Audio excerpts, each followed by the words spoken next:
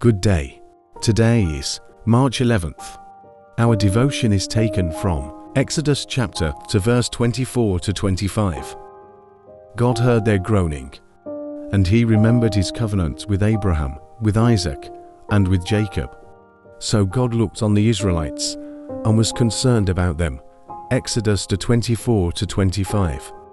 God does know. At first glance, this verse seems too nonchalant for the situation. God was concerned about the Israelites at this time, but they had already been in slavery almost 400 years, many Christians. Even veteran Bible readers might look at this verse and think, why was God only concerned at this point? Why does God often not respond to us until it is too late, or almost too late, to change our situations? This, like a plethora of other Bible verses, is one of the most frustrating to digest. Knowing exactly what the words mean can make it easier.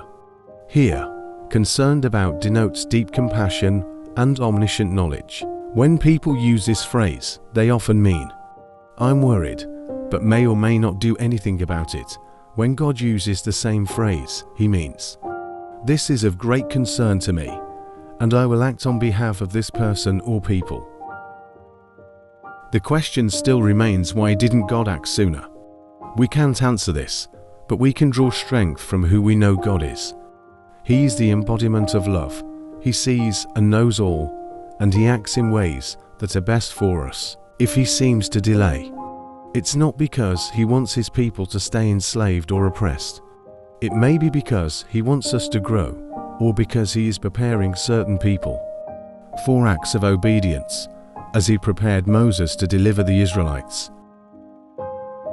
You may be in a difficult situation right now and wondering why God doesn't deliver you right away, especially if you've prayed about it a long time. Never give up asking for deliverance. Ask more persistently. God sees and is concerned about you, and He will never forget you.